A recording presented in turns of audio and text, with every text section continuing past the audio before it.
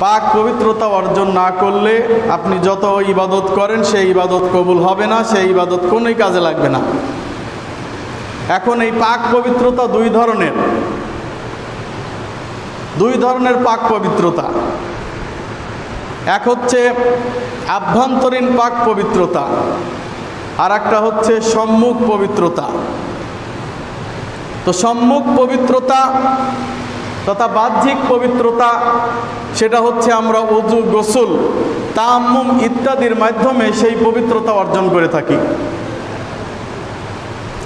আল্লাহ সুবহানাহু ওয়া তাআলা সূরা তওবা 9 নম্বর সুরা, দশ নম্বর আয়াতে বলেন, ইন্নাল্লাহা ইউহিব্বুত তাওয়াবিন ওয়া ইউহিব্বুল মুতাত্তাহিরিন। নিশ্চয় আল্লাহ তাআলা অন্তর থেকে তওবাকারীদেরকে ভালোবাসেন এবং যারা পাক পবিত্রতা অর্জন করে তাদেরকে আল্লাহ তাআলা ভালোবাসেন। রাসূল সাল্লাম বলেছেন, মুসলিম মেশকাতের তিনশত এক নম্বর হাদিস, লা ইউকবালু সালাতু বিগাইরি তুহুরিন ওয়ালা সাদাকাতিম মিন গুলুলিন। লা ইউকবালু, আল্লাহ কবুল করেন না, গ্রহণ করেন না অ্যাকসেপ্ট করেন না। সলাৎ সলাৎ।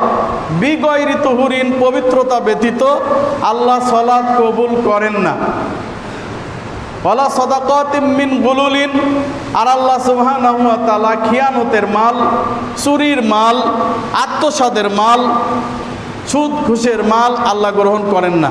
এই সাদাকা আল্লাহ কবুল করেন না। কথা বুঝতে পারছেন তো? দুইটা জিনিস। একটা জিনিস হচ্ছে আল্লাহ তাআলা পবিত্রতা ব্যতীত সালাদ কবুল করেন না এবং চুরির মাল, আত্মসাতের মাল, সুদের মাল, ঘুষের মাল, এই মালের সাদাকা আল্লাহ কবুল করেন না। এখন ঘটনা হচ্ছে, অন্য হাদিসে এসেছে, সালাত হচ্ছে, আমরা শুনে থাকি যে সালাত হচ্ছে জান্নাতের চাবি, শুনে থাকি না? হাদিসটা সহি নয়, মুনকার। বরং জান্নাতের চাবি হচ্ছে লা ইল্লাল্লাহ। এখন অজুর একটা চাবি আছে। অজুর চাবি কি?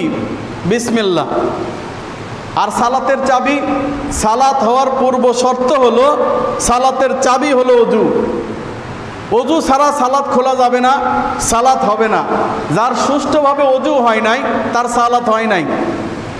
এজন্য রসুল সাল্লাম বলছেন লাইকবালু সালাত বিগৈরি তুহুরিন ওলা সদকাতিম মিন গুলুলিন। আল্লাহ সুবহানাহু ওয়া তাআলা পবিত্রতা ব্যতীত সালাত কবুল করেন না। সুতরাং আপনি যদি পবিত্রতা অর্জন না করেন উজু গোসলের মাধ্যমে, তাহলে আপনার সালাতই হবে না। তাহলে কি করবেন? সুন্দরভাবে অজুটা করতে হবে। কেন করতে হবে? সুন্দরভাবে উজু করলে আল্লাহ সুবহান একটা দুইটা জান্নাত নয়। কয়টা জান্নাত? কয়টা? আটটা জান্নাত। আটটা জান্নাতের দরজায় তিনি জান্নাত আসলে একটা। জান্নাত কয়টা? একটা। এর দরজা হলো আটটা। এই জান্নাতের আটটা দরজায় আল্লাহ সুবহানাহু ওয়া খুলে দিবেন। আর বান্দাকে বলবেন, লিমান শাহ যেইটা ইচ্ছা তুমি বান্দা প্রবেশ করো, সুবহানাল্লাহ। যদি সুষ্ঠু সুন্দরভাবে অজু করা যায়, সুষ্ঠু সুন্দরভাবে অজুর নিয়ম অনুযায়ী অজু করা যায়, এবং এর শেষে একটি দোয়া আছে আসাদু আল্লাহ ইলাহা আশহাদু আন্না মুহাম্মাদান আবদুহু ওয়া রাসূলুহু আল্লাহুম্মা জাআলনি মিনাত তাওয়াবিন ওয়া জাআলনি মিনাল মুতাত্তাহিরিন। আমি সাক্ষ্য দিচ্ছি, আল্লাহ সারা কোনো ইলাহা নাই, মাবুদ নাই, সত্যি হক কোনো মাবুদ নাই। এবং মোহাম্মদ রসুল্লাহ সাল্লাহ সাল্লাম আল্লাহর পয়গম্বর, মনোনীত পয়গাম্বার এবং আল্লাহ তাআলা, আল্লাহুম্মা জাআলনি মিনাত তাওয়াবিন আল্লাহ তাআলা যারা পবিত্রতা অর্জন করে এবং যারা পবিত্রতার সঙ্গে থাকে, আল্লাহ তাআলা তাদের মর্তবা, মর্যাদা বাড়িয়ে দেন। এই দোয়াটা পড়ার পরে অজু করার পরে যদি কেউ এই দোয়াটা পড়ে, তাহলে রসুল সাল্লাহ সাল্লাম বলছেন, আল্লাহ তালা জান্নাতের আটটি দরজায় খুলে দেন। আর বলেন, বান্দা, তুমি যে কোনো দরজাতে প্রবেশ করো সুবাহান আল্লাহ দরকার আছে না নাই? কিন্তু ভাই, এই যে এত বড় ফজিলত আছে, এটা শয়তান জানে না জানে না? শয়তান জানে। এই জন্য প্রথমেই আপনাকে বিদাত করিয়ে দেয়। আপনি প্রথমেই এই দোয়াটা পাঠ করতে যেও আকাশের দিকে তাকাচ্ছেন। অথচ আকাশের দিকে তাকানোর হাদিস সহি নয়, মুনকার, অগ্রহণযোগ্য।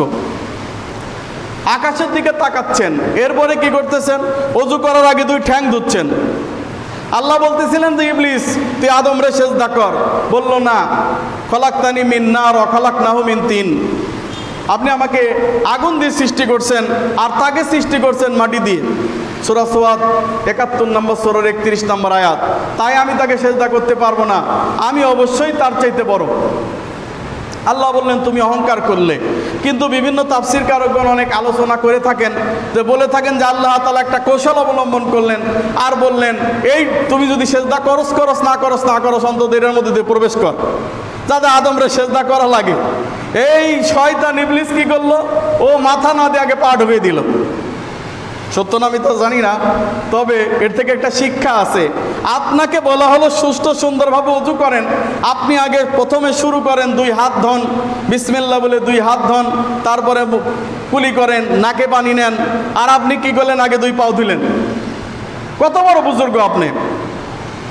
আপনাকে তো আগে পাও ধোয়ার কথা বলে নাই? নাকি আল্লাহ কোরআনে বলছে পাও ধোয়ার কথা আগে? আমি কেবল তেলাওয়াত করলাম না। আল্লাহকে আগে পাও ধোয়ার কথা বলছে? বলেন নাই, কিন্তু আপনি কি করলেন? আগে পাও দুইটা ধুয়ে নিলেন। মাজ আল্লাহ এরপরে অজুর শেষে আপনি এমন কিছু কিছু দোয়া পাঠ করলেন, এটা মেড ইন চায়না তাও সন্দেহ আছে। মেড ইন চায়না কিনা তাও সন্দেহ আছে made in Saudi Arab made in Medina না। এটা কোথা থেকে হাদিসটা আমদানি করেছে? অকুফরুন, জুলমতন, অমুক তমুক তমুক আরও অনেক দোয়া আছে। এই দোয়াগুলা পাঠ করে আপনি অজুর যে ফজিলত অর্জন আপনার হতো তা শেষ করে দিয়েছে শয়তান। কারণ শয়তান যদি আপনাকে বিদাত করে করাতে পারে, তাহলে আপনার আমল ধ্বংস হয়ে যাবে। তাহলে বললাম, পবিত্রতা কয় ধরনের ভাই? দুই ধরনের। এই আলোচনা আপনাদের হয়তো ভালো নাও লাগতে পারে, কিন্তু এটা খুব প্রয়োজনীয় আলোচনা। খুব মনোযোগ দিবেন। কারণ এটা না জানলে ইবাদত হবে না। আর ইবাদতই যদি না হয়, তাহলে কান্না হাসির ওয়াজ শুনে আর খুব সুন্দর ওয়াজ শুনে আপনার কোনো লাভ নাই। যদি ইমান আর যদি আপনার আমল যদি ত্রুটি থেকে যায়, কথা বলেন ঠিক কিনা? এজন্য আল্লাহ রসুল সাল্লাহ সাল্লাম বলছেন যে, পবিত্রতা দুই ধরনের। এক হচ্ছে বাহ্যিক পবিত্রতা, অর্থাৎ আমার উপরে শরীরে ময়লা লেগেছে, অথবা আমি উঁচু গোসল করে আমি জুনুবি ছিলাম, আমি অপবিত্র ছিলাম, আমি পবিত্রতা অর্জন করলাম। এটা হলো বাহ্যিক পবিত্রতা। এটা সবাই করে থাকে কম বেশি। আর একটা হচ্ছে আভ্যন্তরীণ পবিত্রতা, হৃদয়ের পবিত্রতা। এই পবিত্রতা অধিকাংশ পঁচানব্বই পার্সেন্ট মানুষের নাই, অনেক হুজুরেরও নাই। আভ্যন্তরীণ পবিত্রতা বলতে বোঝায় হৃদয়কে সম্পূর্ণভাবে শিরিক বিমুক্ত ঘোষণা করা, শিরিক মুক্ত থাকা বিদাত মুক্ত আমল করা। শিরিক মুক্ত থাকা, বিদাত মুক্ত আমল করা, পরি, এই সমস্ত আমল বিদাত পরিত্যাগ করতে হবে, শিরিক পরিত্যাগ করতে হবে, হৃদয়কে পবিত্র করতে হবে। আপনি অনেক বড় বুজুর্গ, কিন্তু আপনি বিশ্বাস করেন যে আপনার বুজুর্গানে দিন, যিনি পীর সাহেব কবরে শুয়ে আছে, উনি আপনার ভালো মন্দ করতে পারেন, উনি আপনাকে চাইলে কিছু দিতে পারেন, আল্লাহর কাছে সুপারিশ নিয়ে বলতে পারেন, এরকম যদি কারও আকিদা থাকে, তাহলে সেই লোকটা আভ্যন্তরীণ পবিত্রতা তার হয়নি, সেই ব্যক্তি মুশরেক হয়ে গেছে, কথা বলেন ঠিক কিনা? সেই ক্ষেত্রে অধিকাংশ ওলামাইকেরাম দেখা যায়, যারা এই ধরনের বিশ্বাস লালন করতে পারে, যে আমাদের বুজুর্গানে দিন অথবা আমাদের আকাবিররা এইটা করতে পারে, সেইটা করতে পারে, এমনকি মরার পরও তাদের সেই শক্তি, ইচ্ছা আছে। আবার অনেকে মনে করে নবী সাল্লাম মৃত্যুবরণ করেন নাই, বরং তিনি হায়াতুন নবী কবরেই জীবিত আছেন, সেখান থেকে উন্মতের ভালো মন্দ করতে পারেন। এমন আকিদা কারও যদি থেকে থাকে, তাহলে ভাই, ওই কুপুরি আকিদা নিয়ে তার সলাৎ পড়া না পড়া সমান কথা। তার পবিত্রতা অর্জন হয় নাই। তাহলে সুন্দর, সুষ্ঠুভাবে আপনাকে পবিত্রতা অর্জন করতে হবে। অজু করতে হবে। রাসুল সাল্লাহ সাল্লাম যেভাবে দেখিয়ে দিয়েছেন, ওইভাবে অজু করতে হবে। আল্লাহ তাআলা বলছেন পবিত্র কোরআনে, সূরা মাইদা 5 নম্বর সূরা 6 নম্বর আয়াত। ইয়া আইয়ুহাল্লাযীনা আমানু ইযা কুমতুম ইলাস সালাত। হে ঈমানদারগণ, যখন তোমরা সালাতের জন্য অগ্রসর হও, নামাজের জন্য দাঁড়াও ফাকসিলু উজু হাকুম তখন তোমাদের মুখমণ্ডল ধৌত করো ও আইদিকুম, তোমাদের হাত ধৌত করো, ইলাল মারাফিক কুনুই পর্যন্ত। হাত ধৌত করো কোনই পর্যন্ত। কোরআনে চারটা বিষয় এসেছে, আর এই চারটা কি ওজোর মধ্যে? ফরজ। ওজুর ফরজ কয়টা? চারটা। হজুর ফরজ কয়টা? চারটা। তবে বিভিন্ন মাজাবে ছয়টা ফরজ আছে। কোনো কোনো মাজাবে আটটা ফরজ আছে ওজুর আবার কোনো কোনো মাজাবে তিনটা ফরজ আছে। অনেকে বলেন যে যদি আপনি মাঝাব মানেন, তাহলে আপনি এত বিভ্রান্ত হবেন না, একটা মাঝাব যে কোনো একটা মাঝাব মানলেই হয়, সব মাঝাবই হক। বলে না? বলে, এখন কথা হচ্ছে যে আল্লাহ তালা পবিত্র কোরআনে অজুর ফরজ চারটা করেছেন, কয়টা? হাত ধোয়া, মুখ ধোয়া, পা ধোয়া আর মাথা মাসে করা। এই চারটা ফরজ আল্লাহ কোরআনে করেছেন। এখন দেখা গেল এই চারটার বেশি কোনো কোনো মালিকি মাজাবে ছয়টা ফরজ। অন্য একটি মাজাবে তিনটা ফরজ। এখন যদি আপনি মাঝাব মানতে যান তাহলে আল্লাহ যে চারটা ফরজ করেছে আপনি তার চেয়ে ফরজ বৃদ্ধি করলেন। কেউ যদি ফরজ বৃদ্ধি করে সে কাফের না মুসলমান? তাহলে এক ইমামের ফতুয়া আর এক ইমাম কাফের হয়ে যাচ্ছে। হ্যাঁ? এক ইমামের ফতুয়ায় আর এক ইমাম কাফের হয়ে যাচ্ছে। সুতরাং কোন ইমামকে ফলো না করে যদি আমরা কোরআন এবং সহি হাদিস ফলো করি, তাহলে কাউকে কাফেরও বলা লাগতেছে না, আমরা সুন্দরভাবে কোরআন এবং হাদিস দিয়ে আমরা এই দলিল সাব সাব্যস্ত করতে পারতেছি পারতেছি না? হজরতে ওসমান বিন আফফান রাজি আল্লাহ তালানু আলী রাজি আল্লাহ তালানু বিভিন্ন সাহাবিরা রসুসাল্লাম কীভাবে অজু করেছেন, একেবারে প্রথম থেকে নিয়ে শেষ পর্যন্ত সব বলে দিয়েছেন না? বলে দিয়েছেন, অতএব এইখানে আপনার আমার করণীয় অন্য অন্য ইমাম বা কোনো মাঝাবি মানতে হবে অজু করতে গিয়ে এটা ভুল ধারণা, বরং আপনি কোরআন হাদিস যদি পালন করেন তাহলে আপনার কোনো সম্ভাবনা মানে ভুলের সম্ভাবনা আর থাকে না। আসুন অজুর আগে ফজিলতগুলা বর্ণনা করে নিই। রাসুল সাল্লাহ সাল্লাম বলেছেন সই মুসলিম মেশকাতে দুইশো বিরাশি নম্বর হাদিস। ওয়ান আবি হুরাইরাতা রাদিয়াল্লাহু তাআলা আনহু قال قال رسول الله صلى الله عليه وسلم আলা আদুল্লুকুম আলা মা ইয়ামহুল্লাহু বিহিল খতায়া আবু রাদিয়াল্লাহু তাআলা বর্ণনা করছেন রাসূল সাল্লাল্লাহু আলাইহি সাল্লাম বলছেন যে আমার সাহাবীরা আমি কি তোমাদেরকে এমন একটি আমলের কথা বলবো না ইয়ামহুল্লাহু বিহিল খতায়া যার মাধ্যমে আল্লাহ তাআলা তোমাদের সমস্ত গুনাহ মাফ করে দিবেন, ক্ষমা করে দিবেন, বলেন সুবহান আল্লাহ দারাজাত, এবং তোমাদের মর্যাদা, শ্রেষ্ঠ মর্যাদা দেবেন। হ্যাঁ? তোমাদেরকে শ্রেষ্ঠ মর্যাদা দেবেন, তোমাদেরকে মর্যাদা উন্নীত করবেন, বাড়িয়ে দিবেন। কলু বালা, ইয়া রাসুল আল্লাহ তখন সাহাবিগণ বলেন ইয়া রাসুল আল্লাহ বলেন সেই আমলটা কি? রাসুল্লাহ সাল্লাহ সাল্লাম বললেন, ইসবাগুল উজুই আলাল মাকারি। যখন খুব কষ্টের মধ্যে থাকো, তখন বেশি বেশি উজু করো। অজু করলেই দুই রাকাত সালাদ আদায় করো। রাসুল সাল্লাহ সাল্লাম বলতেছেন যে, আমি মিরাজে গেলাম। মিরাজে গিয়ে দেখলাম, আমার ভাই বিলাল আমার আগে আগে হেঁটে যাচ্ছে। বিলালের পায়ের খসখস খসখস শব্দ শুনতে পেলাম সুবাহান আল্লাহ সই বুখারির হাদিস। এখন মিরাজ থেকে এসে বললাম, ভাই বিলাল, তুমি কি এমন আমল করো যে আমি তোমাকে জান্নাতে হাঁটতে দেখলাম? সুবাহান আল্লাহ অবিহামদি সুবাহান আল্লাহ আজিম বিলাল রাজি আল্লাহ তালানু বললেন, কি যে বলেন ইয়া রাসুল্লাহ আমাকে আপনি আগে হাঁটতে দেখেছেন? হ্যাঁ? আমি এক কৃতদাস ছিলাম।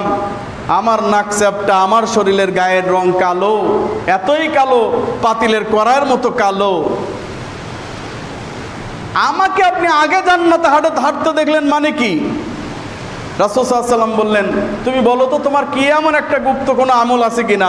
যে আমলের কারণে ইয়ারফাও বিহিত দারাজাত, আল্লাহ তোমার মর্যাদা বৃদ্ধি করে দিয়েছেন। তখন বিলাল বিন রাবাহ রাজি আল্লাহ তিনি বলতেছেন, ইয়া রাসুল আল্লাহ আমি জানি না তেমন কোনো আমল আছে কিনা, তবে আমি যখনই অজু করি, তখন আমি দুই রাখা সলাত আদায় করি। বলেন সোবাহান আল্লাহ তো অজু করার সাথে সাথে দুই রাকাত সলাত আমি আদায় করি। এটা এনি টাইম এভরি টাইম যে কোনো সময় করতে পারেন, কোনো সমস্যা নাই। আপনার মনে করতেছে সবসময় অজুতে থাকা ভালো। যদি আপনি পারেন, তো এই আমলটা করতে পারেন। রাসুল সাল্লাহ সাল্লাম বলতেছেন, যদি কেউ এই আমলটা করে, বিলাল রাদি আল্লাহ তালনকে বলতেছেন যে, আমি তোমাকে দেখলাম জান্নাতে আগে আগে আল্লাহ অর্থাৎ কষ্টকর অবস্থায়, কষ্ট লাগছে, শীত লাগতেছে, তারপরও সে উজু করে। তবে অনেকে আছে যে এই রাতে পানি বদনার মধ্যে ভরে রাখে। সকালবেলা যেন বেশি ঠান্ডা হয়। এরপরে সেই পানিতে অজু করে বেশি মর্তবার জন্যে। না, ইসলাম এটার নাম নয়। ইসলাম হচ্ছে সহজতা আরোপ করে, কঠিনতা নয়। অতএব আপনি বেশি বুজুর্গ দেখাইতে গিয়ে এত ঠান্ডা পানিতে অজু করতে কে বলছে আপনাকে? নর্মাল পানিতে অজু করেন, প্রয়োজনে পানিটা গরম করে নেন, কোনো সমস্যা নাই। তবে অজুতে থাকার চেষ্টা করেন, কষ্টকর হলেও অজু করেন। তাহলে আল্লাহ মর্যাদা বৃদ্ধি করে দিবেন এবং সমস্ত গুণা মাফ করে দিবেন সুবাহান আল্লাহ ওয়া কাসরাতুল খুতাইলাল মাসাজিদ। এবং এই লোকটা বেশি বেশি মসজিদের দিকে আগমন করে। কোথায়? মাসজিদের দিকে আসে। কোথা দিকে আসে? মাসজিদের দিকে আসে। বাজারের দিকে যায় না। কোথায় যায় না? বাজারের দিকে যায় না। জি না, আমরা বাজারের দিকে বেশি যাই, মসজিদের দিকে কম আসি, কথা ঠিক কিনা? জুমার দিনে আসি। তাও চিন্তা করি কখন খতিব সাহেব খুতবা শেষ করবে, তাড়াতাড়ি নামাজটা বড়াই দিবে। তারপরে আমরা বাজারে যাব বাজারে যাব। বাজারেই বল, কাজ। অথচ রসুল্লাহ সাল্লাহ আলী সাল্লামের কাছে এক ইহুদি এসে বললেন, হে মোহাম্মদ, আপনি বলেন তো, এই পৃথিবীর সবচাইতে শ্রেষ্ঠ জায়গা কোনটা? আল্লাহ রসুল সাল্লাহ সাল্লাম একটু চুপ থাকলেন। আর বললেন ভাইরে আমার এটা জানা নাই। জিবরিল আমিন আসলে আমি জিজ্ঞাসা করব না। জিবরিল আমিন এসেছে। রাসুল সাল্লাহ সাল্লাম জিবরিল আমিনকে জিজ্ঞাসা করলেন, হে জিবরিল আমিন, বলো তো এই পৃথিবীর সবচাইতে শ্রেষ্ঠ জায়গা কোনটা? জিবরিল আমিন বলতেছে, ইয়া রাসুল্লাহ আমিও তো জানি না। তবে আপনি একটু অপেক্ষা করেন, আমি আইতেছি আর গেতাছি গেতাছি আর আইতাছি। তার মানে কি? সে আরও সে মোয়াল্লাকা তিনি আসছেন সেকেন্ডের ভিতরে সুবাহান আল্লাহ এরপরে বলতেছেন যে হ্যাঁ আমি আল্লাহর কাছে গিয়েছিলাম। অতঃপর আল্লাহ সুবাহ তালা আমাকে বললেন, হে মোহাম্মদ, আল্লাহ আমাকে বললেন, এই পৃথিবীর নিকৃষ্ট জায়গা হলো বাজার। শারুল বিক আসোয়াকুহা সবচাইতে নিকৃষ্ট সবচাইতে নিকৃষ্ট সবচাইতে নিকৃষ্ট হলো বাজার। আর খয়রুল বিকয় মাসাজিদুহা। আর সবচাইতে উত্তম জায়গা হলো, শ্রেষ্ঠ জায়গা হলো মসজিদ বলেন সুবাহান আল্লাহ এখন শ্রেষ্ঠ জায়গা কোনটা হয়েছে? বাজার। মসজিদ না। রাসুল সাল্লাহ সাল্লাম এই কথাটা জানতেন না, জিবরিল আমিনও জানতেন না। আল্লাহ তালা জানিয়ে দিলেন, তার আগে বললেন, বাজার খারাপ জায়গা, তারপরে মসজিদ। আগে খারাপটা জানিয়ে, ভালোটা জানলেন। এই জন্য জাহান নামের ওয়াজ করার সাথে সাথে জান্নাতের ওয়াজও আল্লাহ করেছেন। করেছেন কি করেন নাই? যেখানে আল্লাহ জাহান নামের কথা বলেছেন, সেখানে জান্নাতের কথা বলেছেন। যেখানে জান্নাতের কথা বলেছেন, সেখানে জাহান নামের কথা বলেছেন। এই জন্য আগে খারাপটা বলে নিলে, ভালোটাও জানিয়ে দিতে হবে। এই হাদিসের মূলনীতি হলো এটা। সাথে সাথে কথা হচ্ছে, রসুল সাল্লাম তিনি বলতে পারতেন, আমার মসজিদ নববী উত্তম। বলতে পারতেন, আল্লাহর ঘর বাইতুল্লাহ উত্তম। বলতে পারতেন, বাইতুল মুকাদ্দাস উত্তম। বলতে পারতেন যে, আমি যেখানে হীরা গুহায় মগ্ন ছিলাম, সেটা সবচাইতে ভালো জায়গা। বললেন না, কারণ আল্লাহ বলতেছে আনিল হাওয়া ইনহুয়া ইল্লা অহিউ আনিল হাওয়া, আমার নবী হাওয়া অনুযায়ী, প্রবৃত্তি অনুযায়ী। নফসানে খায়েসাত অনুযায়ী কোনো কথা বলেন না। আমার নবী যা বলেন তা আমার পক্ষ থেকে ওহি ছাড়া কোনো কথা বলেন না সুবাহান আল্লাহ যদি আমার নবী ওহি ছাড়া কোনো কথা বলতো, আল্লাহ বলছেন হাক্কা সুরা উনসত্তর নম্বর সুরা তেতাল্লিশ থেকে পাঁচচল্লিশ আয়াত। ولو تقول علينا بعض الأقايل لأخذنا منه باليمين ثم لا قطعنا منه الوتين আমার নবী যদি নিজের থেকে কোনো কথা বানিয়ে বলার চেষ্টা করত আমি নবীর ডান হাত ধরে ফেলতাম আর তার গিবাদেশ গলা আমি কেটে দিতাম কেউ তোমরা তাকে রক্ষা করতে পারতে না সুবাহান আল্লাহ নাবি সাল্লাম বললেন, হে ইহুদি, আমি তো জানি না। জিব্রিল আসলে জিজ্ঞাসা করব, জিব্রিল, তুমি জানো? জিব্রিল বলল, আমিও তো জানি না। তো ঠিক আছে, আমি আল্লাহর কাছ থেকে জেনে আসি। আমি হাতেম বিন পারভেজ এখন বলছি, আমি জানি না মানে? জানি। যদি বলি জানি না, তাহলে তো আমার হুজুরত্ব কমে যাবে। না, জানলেও ফতোয়া দিচ্ছে, আছে না নাই? না জানলেও ফতোয়া দিচ্ছে। আপনি যদি বলতেন, ভাই, আমার জানা নাই। আপনাকে আমি জানিয়ে আপনার নাম্বারটা দিয়ে যান, আমি জেনে আপনাকে জানিয়ে দেব।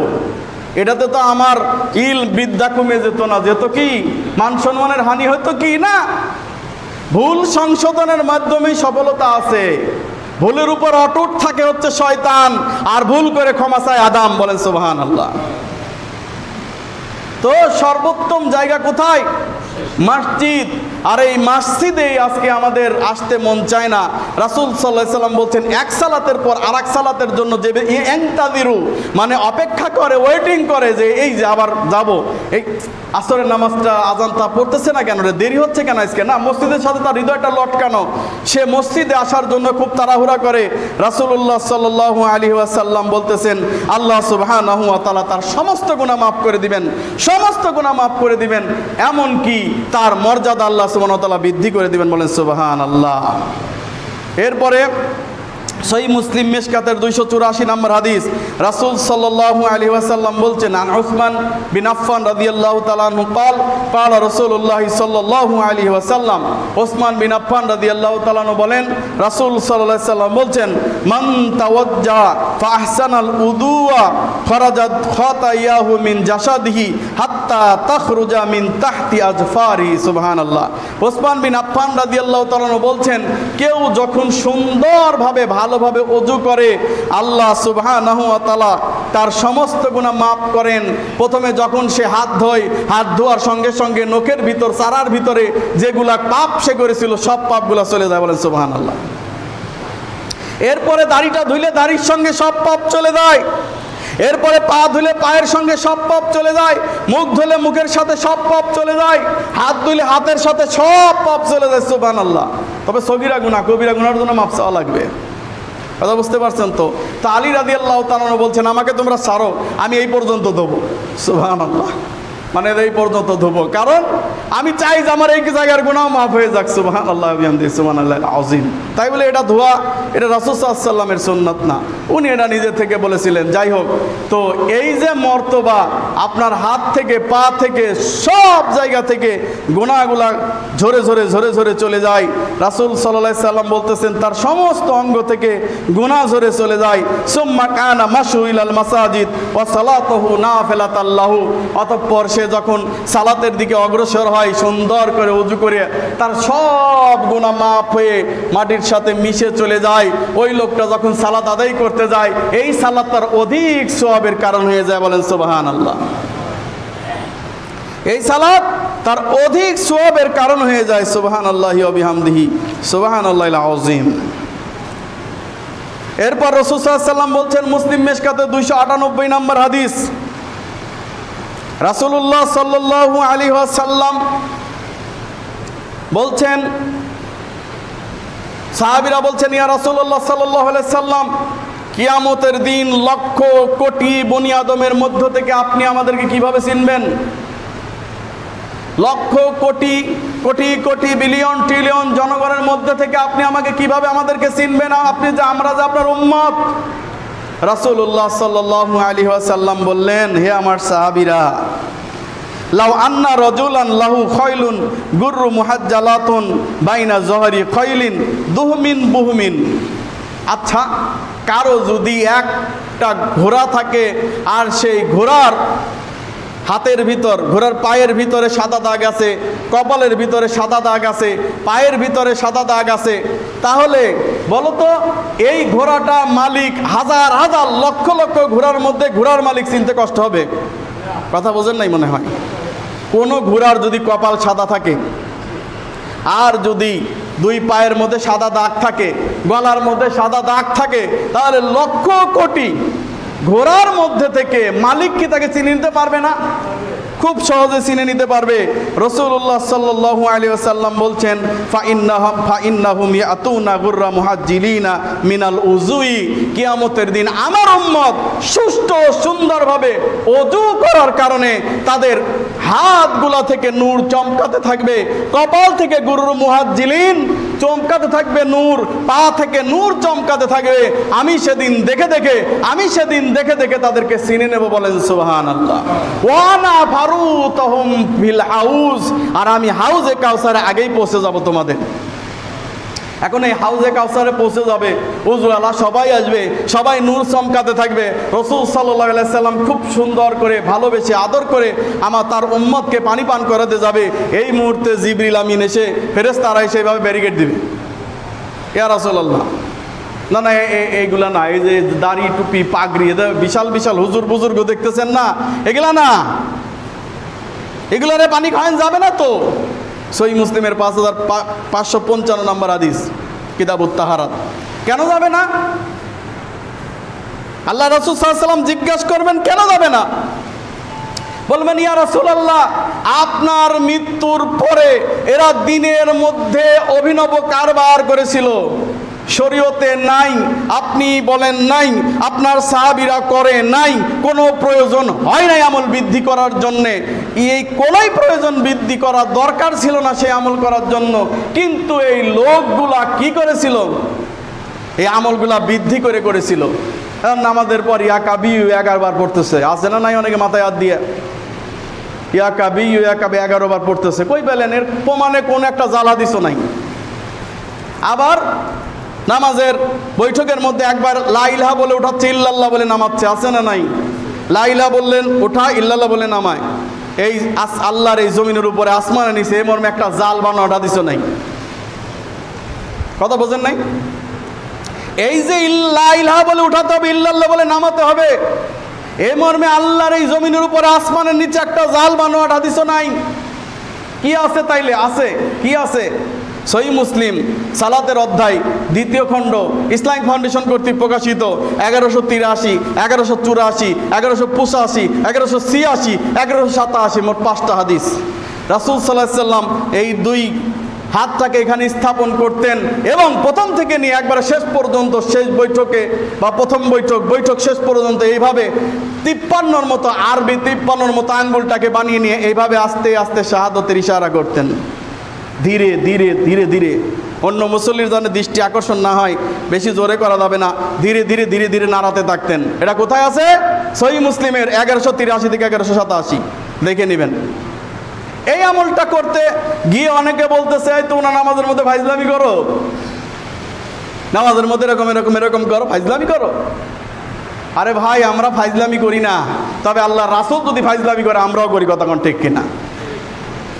এখন প্রশ্ন হচ্ছে, এই প্রশ্নটা সাহাবিরা রাসুলকে করেছিল।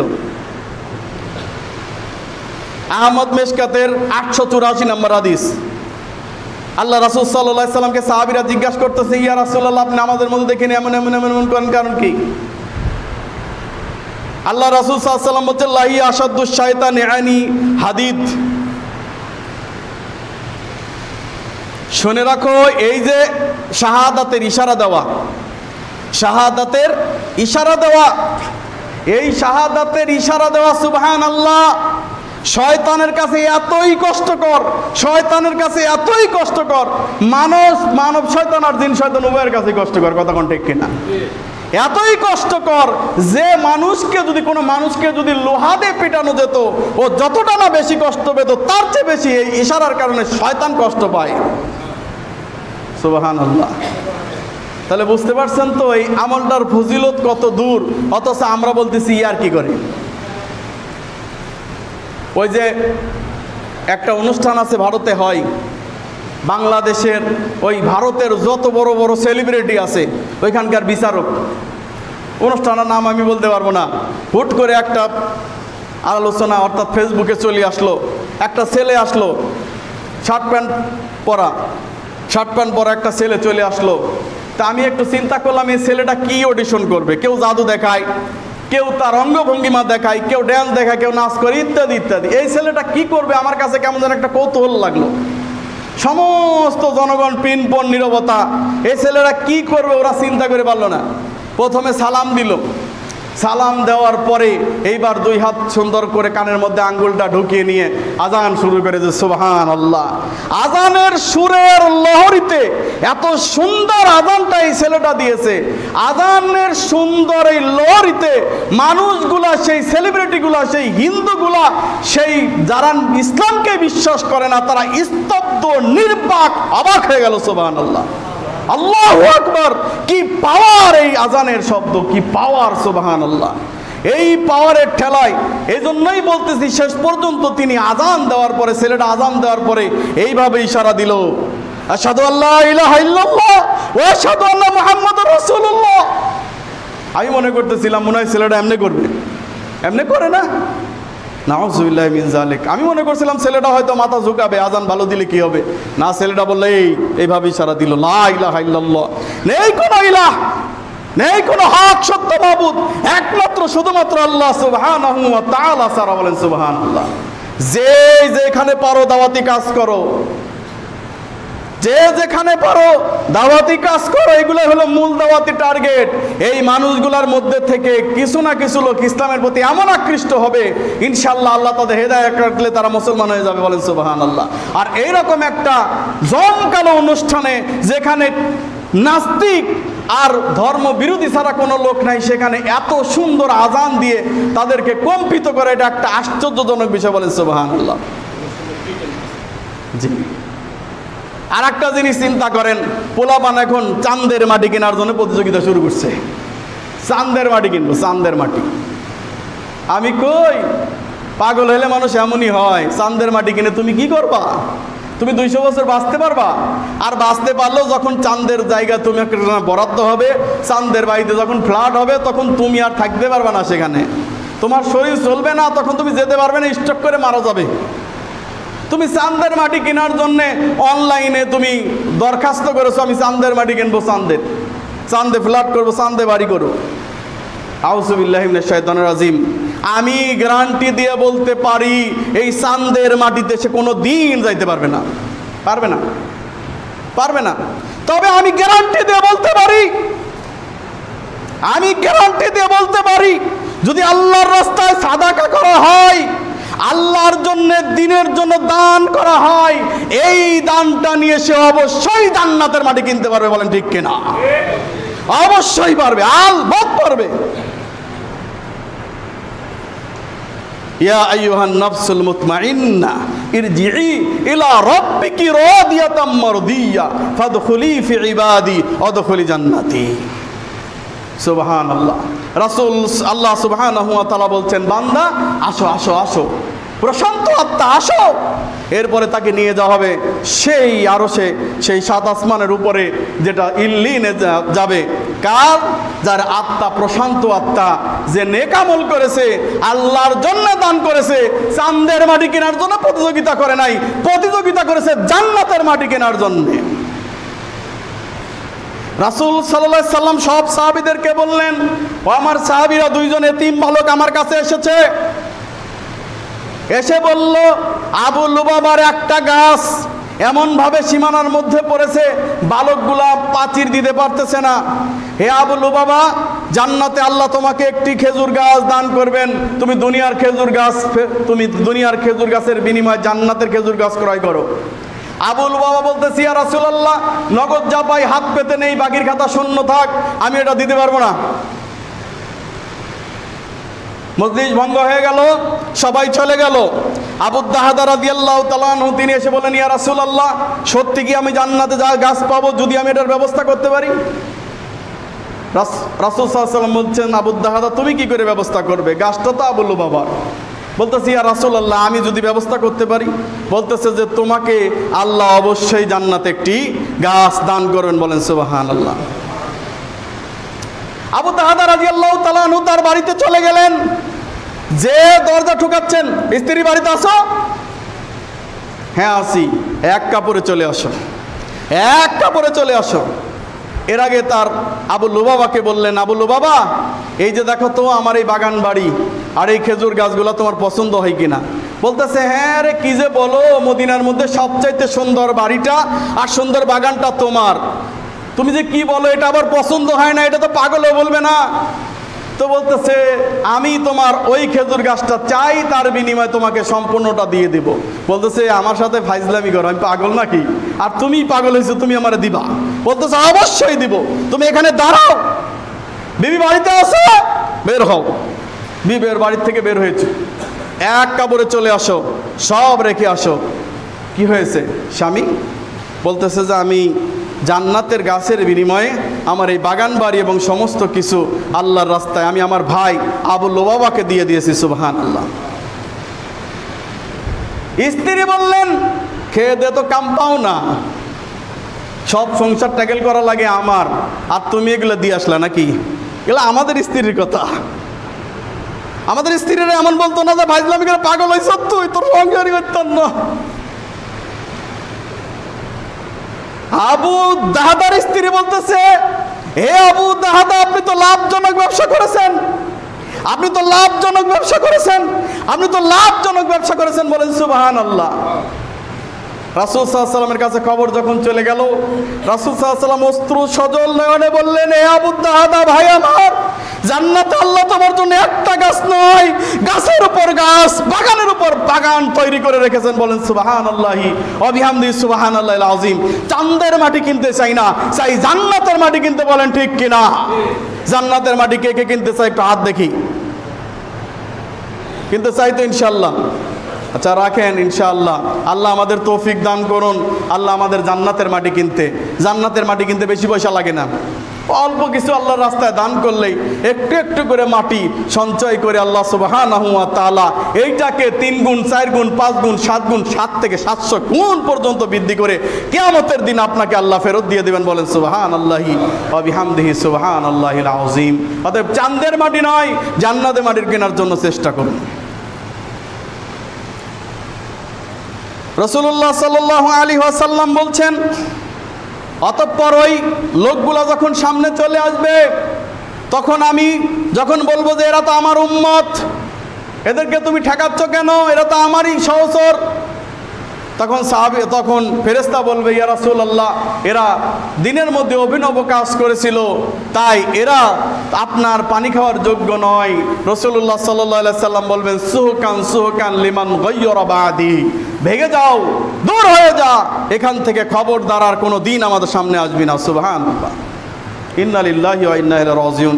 সেদিন রসুল্লাহ সাল্লাহ সাল্লাম যদি এই পানি পান করতে আমাদেরকে না দেন, কি অবস্থা হবে?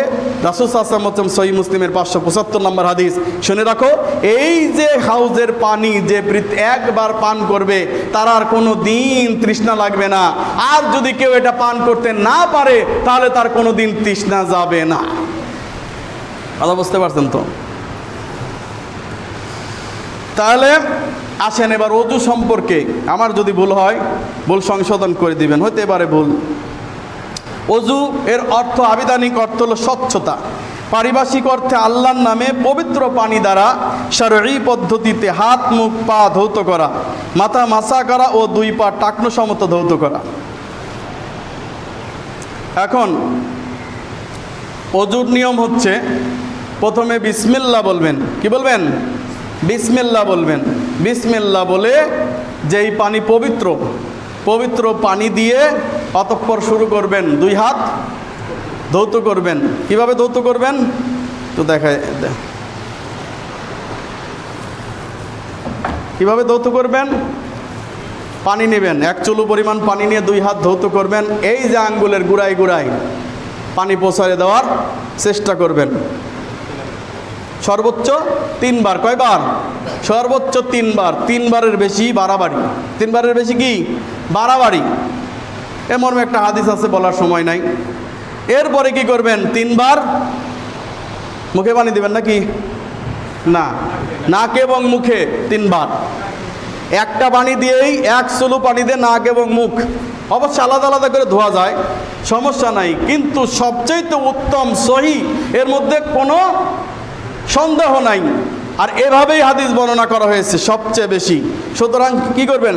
মুখ এবং নাকে, এক সুলু পানি নিয়ে মুখ এবং নাকে অভ্যাস করলে হয়ে যাবে, কোনো ব্যাপার না। তারপরে গোটা মুখমণ্ডল ধৌত করবেন। আর যদি দাড়ি থাকে, দাড়ি খেলাল করে নেবেন নাকি? দাড়ি যদি থাকে মানে? দাড়ি যদি থাকে মানে কি? দাড়ি আছে, সবার আছে? যদি থাকে মানে কি? দাড়ি রাখতেই হবে, দাড়ি রাখা ফরজ। সই মুসলিম, পাঁচশো সাত, পাঁচশো ছয় নম্বর হাদিস। পাঁচশো ছয়, পাঁচশো সাত। সই বুখারি, পাঁচ হাজার নয়শো আটষট্টি নম্বর হাদিস। আন আমর রাজিয়াল্লাহ তালানু কল, আমার অবি আহফা সাওয়ারি আহফল লেখা। রসুল্লাহ সাল্লাম আমাদেরকে আদেশ করতেন, মুসকে ছোট ছোট করে কাটতে আর দাড়িক মাফ করে দিতে। এই যে মুরব্বী এদিক দিয়ে সাইজ করছে, অনেক মুরব্বী আছে না নাই? এদিক দিয়ে সাইজ করে, এদিক দিয়ে সাইজ করে, আছে না নাই? এগুলা সাইজ করা চলবে না, হারাম। দাড়ি রাখলে ভালো করে রাখেন, নাহলে চাইছি বেলান আবার দাড়ি রাইখে এদিক দিয়ে চাষবেন এদিক দিয়ে চাষবেন এটা আবার কোন হাদিসে পাইছেন? রাখলে পূর্ণাঙ্গভাবে রাখতে হবে। যত দূর যায় ইউফেল লেখা মাফ করে দেওয়া। দাড়ি মাফ করে দেওয়া মানে দাড়ি আর ধরাও যাবে না, যত দূর যায় যাক। তবে হ্যাঁ সীমানা ক্রস করে কারও যদি চলে যায় অসুবিধা হয়, তখন সে যতটুকু রাখলে তার ভালো হয়, অতটুকু রাখবে। কথা বুঝতে পারছেন তো? কিন্তু এর বাইরে এই যে দাঁড়িয়ে এদিক দিয়ে ছাটা, কাটা, ফাটা, বা কেউ একবার প্রিন্স কাট রাখা, অমুক রাখা তখন কোনোভাবে জায়েজ নেই। তবে যারা একবারে দাড়ি চেষে ফেলে আর তারা কিছুটা রাখে, তাদের মধ্যে বৈজ্ঞানিক উপকারিতা আছে। বিজ্ঞান বলছে দাড়ি চেষে ফেললে তার যৌন সমস্যা হবে। অবশ্য বর্তমান হারবাল ওষুধ বেশি চলে। তো তার যৌন সমস্যা হবে, আর যদি চেষে না ফেলে তার যৌন সমস্যাটা হবে না। কথা বুঝতে পারছেন? কিন্তু দাড়ি রাখার নিয়ম হচ্ছে আপনাকে দাড়ি ছেড়ে দিতে হবে। আর দাড়ি রাখতেই হবে, দাড়ি রাখা ফরজ। যে হাদিস আল্লাহ রসুলাম আমারও শব্দ ইউজ করেছে। অবশ্যই তোমরা দাড়িকে, মুসকে ছোট ছোট করে কাটবে আর দাড়ি মাফ করে দিবে। এরপর দাড়ি যদি সাদা হয়ে যায়, কালো খেজাব মারবে নাকি? না, কালো খেজাব মারা সম্পূর্ণ হারাম। শুধু হারাম না লাইয়াদ খুলুনা জান্না জান্নাতে প্রবেশ করবে না, শুধু তাই না রহিয়াতাল জান্না জান্নাতে শোভাতা শোভাবে না। তাহলে উপায়? উপায় হচ্ছে কালো রং ব্যতীত। এভরিথিং যে কোনো কালার ব্যবহার করতে পারবেন। কালো কালার ব্যতীত। সবুজ করেন, টিয়া করেন, হলুদ করেন, মেহেন্দি কালার করেন, যেরকম কালার করেন, জায়েজ আছে। শুধুমাত্র কালো করা জায়েজ নেই। তাহলে দাড়ি রাখতে হবে। আচ্ছা দাড়ি থাকলে আবারও কই দাড়ি থাকলে? দাড়ি রাখতেই হবে। এরপর দাড়ির মধ্যে খেলাল করে নেবেন, যথাসাধ্য। যথাসাধ্য খেলাল করে নেবেন। খেলাল করার পরে কি করবেন? এইবার? আচ্ছা খেলাল করলেন। খেলাল করলেন। খেলাল করার পর একটু পানি নিয়ে হ্যাঁ? আগে মাথা মাসে না কান মাসা আচ্ছা কান মাসে করবেন। এই যে কানের ভিতরে, এই দুই কানের মধ্যে আঙ্গুলে, আঙ্গুল দুটো ঢুকিয়ে দিয়ে এই যে পেঁয়াজটা আছে, এই পুরো পেঁয়াজ ঘুরিয়ে দিয়ে এই যে বাম বাম, এই যে লাস্টে এই বুড়ো আঙ্গুল দিয়ে ঠেলা মারবেন এমনি। কথা বুঝতে পারছেন তো? এরপরে কি করবেন? মাথা মাসে করবেন। অনেকে আছে এই এই পর্যন্ত মাসে করে, পুরা মাথা মাসে করে না। মাথা মাসার নিয়ম হচ্ছে এই যে এইখান থেকে শুরু করে নিয়ে একেবারে এখানে কর্ডিনারে একটা কর্ড আছে। এই কর্ড পর্যন্ত আসবেন। এরপর আবার এখানে ফেরত চলে আসবেন। এভাবে মাথা মাসে করবেন। এর মধ্যে হাত ধোয়া বাদ পড়ে গেছে নাকি? হ্যাঁ? হ্যাঁ। কোনোই পর্যন্ত ধুবেন। বাদ পড়লে আমারে বলবেন, কারণ বলতে গিয়ে অনেক সময় ছুটে যায়। এরপরে কি করবেন? দুই কোনোই পর্যন্ত ভালো করে ধুবেন। ধোয়ার পরে এইবার দুই পা ধুবেন। আগে ডান পা না বাম পা? ডাইন পা ধোবেন। এইবার ডাইন পা ধুতে গিয়ে অনেকে খালি ট্যাবের মধ্যে পাও ছেড়ে দিয়ে ব্যাস হয়ে গেল। না না, এত সোজা না। এত সোজা না। এই পা ধুতে গিয়ে পায়ের ভিতরে এই যে বাম আঙ্গুলের বাম হাতের কোনোই আঙ্গুল, প্রত্যেকটি আঙ্গুলের মধ্যে দিয়ে এইভাবে এইভাবে এইভাবে কিলাল করবেন। কথা বুঝতে পারছেন? কিলাল করে সুন্দর করে অজু করবেন। অজু করার পরে এইবার দোয়াটা পড়বেন, আশহাদু আল্লাহ ইলাহা ইল্লাল্লাহ ওয়া আশহাদু আন্না মুহাম্মাদান আবদুহু ওয়া রাসূলু আল্লাহুম্মা জাআলনি মিনাত তাওয়াবিন ওয়া জাআলনি মিনাল মুতাত্তাহিরিন। রাসূল সাল্লাল্লাহু বলতেছেন, আল্লাহ সুবহানাহু ওয়া তাআলা আসমানের সাতটা দরজায়, জান্নাতের সাতটা, আটটা দরজায় খুলে দেন। আর বলেন, বান্দা, যে কোনো দরজাতে প্রবেশ করে। বলেন সুবহান আল্লাহ সুষ্ঠু ও সুন্দরভাবে অজু করলে বান্দার কোনো পাপই থাকে না সুবহান আল্লাহ বিহামদি সুবহান আল্লাহ এরপর আল্লাহ বলতেছেন ওয়াইন কুনতুম জুনুবান ফাতাহারু। আর যদি জুনুবি হয়ে যাও জুনুবি মানে নাপাক না কিন্তু আবার। কারণ মুমিন নাপাক হয় না। লা ইয়াংজিসুল মুমিন মুমিন নাপাক হয় না। আর কাফের যতই অজু করুক, গোসল করুক আর যাই করুক, কোনো পাক হয় না। কথা বুঝাইতে পারলাম না। হজরতে আবুর রাজি আল্লাহ তালানুকে রসুসাল্লাম খুঁজতে বেরিয়েছে। কই আছে দেখি তো? তো এক জায়গায় বসে আছে। তো বসে থাকার পরে রসুসাল্লামকে দেখে ও টুপ করে বাড়ির মধ্যে পলাইছে। আচ্ছা এরপরে তুই তাড়াহুড়া করে গোসল টোসল করে এসে দাঁড়াইছে। এ আল্লাহ রসুল্লাহ সাল্লাম বলেন, আপনার খেদমতে হাজির। বলল, কি ব্যাপার? তুমি দেখেই চলে গেলে বাবার কি? কয়, আমি তো এই অবস্থায় ছিলাম, স্ত্রী সহবাস করে গোসল করছিলাম না, তো আপনার সাথে দেখা করব, এজন্য তাড়াতাড়ি গোসল করে আসলাম। আল্লাহ রসুল সুবহান আল্লাহ আল মুমিন লাইয়ানজিসু এ সুবহান আল্লাহ মুমিন কখনো নাপাক হয় না। তার মানে আপনি নামাজ পড়বেন? না। একটা প্রতিবন্ধকতা সৃষ্টি হয়েছে। জুনুব মানে কি? প্রতিবন্ধকতা সৃষ্টি হয়েছে। অতএব প্রতিবন্ধকতা সৃষ্টি হওয়ার কারণে কি প্রতিবন্ধকতা সৃষ্টি হয়েছে? কেউ যদি স্ত্রী সহবাস করে, তাহলে তার গোসল না করা পর্যন্ত সালাদ আদায় করতে পারবে না। কোরআন দেখে স্পর্শ করে করতে পারবে না। কথা বুঝতে পারছেন? এছাড়া পৃথিবীর সব কাজ সে করতে পারবে। ভ্রমণ করতে পারবে, খাইতে পারবে, একজনের সাথে মোয়ামেলার দেখা সাক্ষাৎ করতে পারবে, কোনো সমস্যা নাই। কিন্তু অনেকেই বলতেছেন, স্ত্রী সহবাস করার পরে মাটির মধ্যে পাড়াও দেওয়া যাবে না। দিলে মাটি অভিশাপ করবে। তাই অনেকে আছেন সালা পাটি বিছাইয়া গোসলখানা পর্যন্ত পুরা যে এরপরে গোসলখানা দিয়ে গোসল করে এসে এরপর বাঁচলাম। এর মধ্যে সে পানিও খায় না, এর মধ্যে সে একটা খাবারও খায় না। অথচ রসুল্লাহ সাল্লাহ সাল্লাম একবার সহবাস করার পরে অন্য স্ত্রীদের সাথে সহবাস করছেন। করছেন কি করেন নাই? তবে এর মধ্যে অজু করে নিয়েছেন। কথা বুঝতে পারছেন? অজু করে নিয়েছেন। আর এটা পবিত্রতার দিক দিয়ে ভালো, যদি সে গোসল করে আবার আর এক স্ত্রীর সাথে যায়, সেটা আরও বেশি ভালো। কিন্তু তাছাড়াও, এক স্ত্রী থেকে কারও যদি একাধিক স্ত্রী থাকে, তাহলে সে এক স্ত্রীর সাথে সহবাস করার পর আর এক স্ত্রীর কাছে সে যেতে পারবে, কোনো সমস্যা নাই। বা ইসলামের বারে লজ্জার কোনো বিষয় নাই। বলবেন যে, হুজুর কি তাহলে সেক্সি সেক্সি আলাপ করে রাখেন? নাউজুবিল্লাহ হিসাবে যেটা দরকার এটা বলতে হবে না? বলতে হবে। তো আইন কুমতুম জুনুব ফাতাহারো, সুতরাং কেউ যদি জুনুবই থাকো, পবিত্রতা অর্জন করো। পবিত্রতা অর্জন করে তারপরে তুমি সালাদ আদায় করো, কোরআন পড়ো। এখন এই পবিত্রতার গোসলের ব্যাপারটা একটু আলাদা আছে। আছে না নাই? এই পবিত্রতাটা আলাদা আছে না? এক্ষেত্রে নামাজের অজুর মতোই নামাজের অজুর মতোই, সালাতের অজুর মতোই অজু করবে। তবে কিছু পার্থক্য আছে, সেটা হলো কুলি করার সময় গড় গড় করে গুলি করবে। তবে সিয়াম থাকলে গড় গড় করতে পারবে না। কথা বুঝতে পারছেন? আর নাকে পানি নেওয়ার সময় একটু নাকে টেনে টেনে পানি নিবে। এই গড়গড়া এবং নাকে টেনে টেনে পানি নিতে হবে। এরপরে প্রথমে সে কি করবে? পাক পবিত্র মাটি দ্বারা হোক আর সাবান দ্বারা হোক তার গুপ্তাঙ্গ পরিষ্কার করবে। পরিষ্কার করার পরে এবার ওজন নেয় অজু করবে।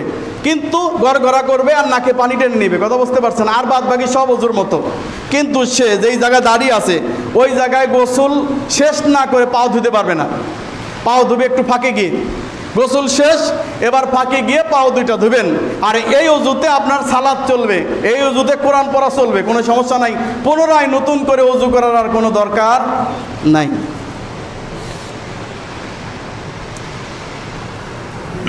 অজুর অঙ্গগুলো একবার, দুইবার, তিনবার ধোয়া ভালো, বেশি বাড়াবাড়ি ভালো না। অজুর অঙ্গগুলো যদি নখ পরিমাণ জায়গা শুষ্ক থাকে, তাহলে পুনরায় অজু করতে হবে। একটু জায়গা শুষ্ক আছে। অজু করতে গিয়ে কোথাও একটু জায়গা শুষ্ক আছে, তাহলে আপনাকে পুনরায় উজু করতে হবে, আপনার উজু হয় নাই। রাসুল্লাহ সাল্লাহ সাল্লাম একবার তিনি গেলেন তাবুক অভিযানে, কি অভিযানে? তাবুক অভিযানে গেলেন। আর এই তাবুক অভিযানে প্রচণ্ড পানির পিপাসা এবং প্রচণ্ড পানি কম ছিল। ছিল কি ছিল না? ছিল। তো সাহাবিরা তাড়াহুড়া করে অজু করতে গিয়ে কারও কারও টাকনুতে পানি এই যে লাগে নাই। এই টাকনুর মধ্যে চকচক করতেছে সাদা। মানে ই নাই, পানি লাগে নাই। রাসুল্লাহ সাল আলী ওয়াসাল্লাম বললেন অইলুন অইলুন লিল আকাবি মিনান্না সাবধান, ওইটুকু জায়গার জন্য জাহান্নাম। ওইটুকু জায়গার জন্য জাহান্নাম, যেই জায়গাটুকু তোমাদের ভেজে নাই, ওইটুকু যার জায়গার জন্য জাহান্নাম। পানি নাই, কোনো সমস্যা নাই, তাম্মুম করেন। জমিনের পাক পবিত্র মাটি দিয়ে তাম্মুম করেন। এখন তাম্মুমের নিয়ম আবার অনেকে জানে না।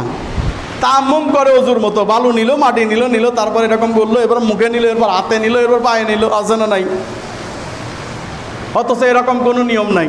তাম্মুমের নিয়ম হচ্ছে পাক পবিত্র, ভালো করে দেখেন। পাক পবিত্র মাটি নিবেন, এই হাতের মধ্যে নিবেন। হাতের মধ্যে নিয়ে একটা ঝাড়া দিবেন। ঠিক আছে? তারপরে এভাবে ঝাড়া দিয়ে এরপরে বিসমিল্লা বলে পাক পবিত্র মাটি নেবেন। মাটি নিয়ে তারপরে এইভাবে একটা ঝাড়া দিবেন। দিয়ে পুরো মুখমণ্ডল ডলে নেবেন, ব্যাস। গোসলও হয়ে গেছে, অজু হয়ে গেছে। কথা বোঝেন নাই? কেউ স্ত্রী সহবাস করল, পানি পেল না, বা সে গোসল করলে সে মৃত্যু রোগ হতে পারে, রোগে মারা যেতে পারে, অথবা তার ঠান্ডাতে সে জমে যেতে পারে। মানে অতিরিক্ত জীবন আশঙ্কা হয়, অথবা যদি পানি না পাওয়া যায়, তাহলে সেই ক্ষেত্রে শুধুমাত্র বিসমিল্লা বলে পাক পবিত্র মাটির উপর মেরে এইভাবে ঝেড়ে শুধুমাত্র দুই মুখমণ্ডলে মেরে নেবেন, ব্যাস আপনার তাম্মুম হয়ে গেল। কথা বুঝতে পারছেন? আর এই তাম্মুমে সালাতও পরা যাবে, স্ত্রী সহবাস করে থাকলে সেটা গোসল হয়ে যাবে, কোনো সমস্যা নেই। এটা হলো নিয়ম। পরিশেষে একটি হাদিস বলে শেষ করে দেই। রাসূল সাল্লাল্লাহু আলাইহি ওয়াসাল্লাম বলছেন, মান আতা হায়েজান আও ইমরাতান ফি দুবুরিহা আও কাহেনান ফাকত কাফারা। হাদিসটার উল্লেখ রয়েছে তিরমিজি, ইবনু মাজা দারিমি মিশকাতের পাঁচশো একান্ন নম্বর হাদিস। এটা জানার দরকার। অনেক যুবক ভাইরা জানেন না, লজ্জার কোনো কারণ নেই। রাসূল সাল্লাল্লাহু আলাইহি ওয়াসাল্লাম বলতেছেন মানাতা হায়েদান যেই ব্যক্তি কোনো ঋতুবতী নারীর সাথে মিলিত হতে যায়, ঋতুবত, ঋতুবতী নারীর সাথে মিলিত হয়, কোনো পুরুষ যদি তার স্ত্রীর মেন্স হয়েছে, ঋতু হয়েছে, মাসিক হয়েছে, এ অবস্থায় সে যদি তার সঙ্গে কি করে? মেলামেশা করে। অফি দুবুরিহা, অথবা তার স্ত্রীর পশ্চাৎ দ্বারে গমন করে। রাসুল সাল্লাম বলছেন, ফাকাত কাফারা। সে কুফুরি করল। সে কি করল? সে কুফুরি করল। সাবধান। খুব সাবধান। সে কি করল? কুফুরি করল। শুধুই কুফুরি করল না, রাসুল সাল্লাহ সাল্লাম বলছেন, কোনো ব্যক্তি যদি মাসিক অবস্থায় তার স্ত্রীর সাথে মেলামেশা করে অথবা তার পশ্চাৎ দ্বারে গমন করে, অথবা কোনো কাহেন ভবিষ্যৎ বক্তা, জাদুকর, আর ওই যে ভাগ্য দেখে, হাত দেখে এদের কথা বিশ্বাস করে, ফাকাত কাভারা বিমা উংজিলা আলা মুহাম্মাদিন সাল্লাল্লাহু আলাইহি ওয়াসাল্লাম। আল্লাহ তাআলা মুহাম্মদ সাল্লাল্লাহু সাল্লামের উপর যা নাজিল করেছেন, এই লোকগুলা তাকে অস্বীকার করে, সুবহানাল্লাহ। নাউজুবিল্লাহ। যেই ব্যক্তি কি করে? তিনটা কাজ করে। এক হচ্ছে সে মাসিক অবস্থায় স্ত্রীর সাথে মেলামেশা করে। দুই হচ্ছে তার পশ্চাৎ যায়। তিন নম্বর হচ্ছে সে কাহেন ভবিষ্যৎ বক্তা, জাদুকর অথবা ভাগ্য হাত দেখে ভাগ্য গণনা করে, তাদের কথা বিশ্বাস করে। সে ব্যক্তি মোহাম্মদ সাল্লামের যা নাজিল হয়েছে তা অস্বীকার করে কুবরি করে অফি রেওয়াতের দারিমি ইবনে মাজা ফাসাদ্দাকাহু বিমা ইয়াকুল ফাকাত কাফারা, শুধু তাই নয়, ওই কাহেন, ওই ভবিষ্যৎ বক্তা, ওই হাত দেখা, হস্তরেখা দেখা ব্যক্তি যদি তার কথা বিশ্বাস করে রাসূল সাল্লাম বলছেন, ওই ব্যক্তি সাথে সাথে কাফের হয়ে যাবে। কথা বুঝতে পারছেন তো? আমাদের অনেক মা বোনের কাছে অনেক মহিলারা আসে এবং তারা বলে, তোর এটা হয়েছিল এটা হয়েছিল। তারপরে ওই বাড়ির চার হাজার, পাঁচ হাজার টাকা আর চাইল মাল সব নিয়ে ভাগে আর খুঁজে পাওয়া যায় না, আছে না নাই? নাউজুবিল্লাহ মিনজালে খুব সাবধান, শুধু আপনার সম্পদ হরণ করেন নাই, ও আপনার ইমান হরণ করে নিয়েও চলে গেছে। এখন একটা প্রশ্ন আসতে পারে যে আচ্ছা আমার স্ত্রী কখন পবিত্রতা হবে। পবিত্রতা হওয়ার একটা লিমিট আছে, স্টেশন আছে। সর্বনিম্ন তিন দিন। কয়দিন সর্বনিম্ন তিন দিন, সর্বোচ্চ দশ দিন। কোনো স্ত্রী লোক যদি তিন দিনের মধ্যে সুস্থ হয়ে যায়, তাহলে তার সাথে সহবাস করা যাবে, এটা সর্বনিম্ন সীমা। কিন্তু সেই স্ত্রী লোক সুস্থ হওয়ার পরে সে গোসল করবে, তারপর স্বামীর কাছে গমন করবে। খুশবু লাগাবে, এরপরে স্বামীর সাথে গমন করবে। কথা বুঝতে পারছেন? এরপরে যদি দেখা যায় তিন দিনের পরেও আছে, চার দিন, পাঁচ দিন, ছয় দিন, সাত দিন, আট দিন, দশ দিন, আছে না নাই এমন? হ্যাঁ হতে পারে একজনের। দশ দিন পর্যন্ত, দশ দিনের পরে যদি হয়, সেটা আবার মাসিক নয়, এটা হচ্ছে শিরা রোগ। কী রোগ? শিরা রোগ। আর এই রোগ অবস্থায় তাকে চিকিৎসা করতে হবে, কিন্তু ওই সময় যাওয়া কোনো হারাম নাই। কথা বুঝতে পারছেন? দশ দিনের পরে গেলে হারাম হবে না, কিন্তু তাকে চিকিৎসা করতে হবে। কথা বুঝতে পারছেন তো? তা আল্লাহ সুবাহ আমাদেরকে পাক পবিত্র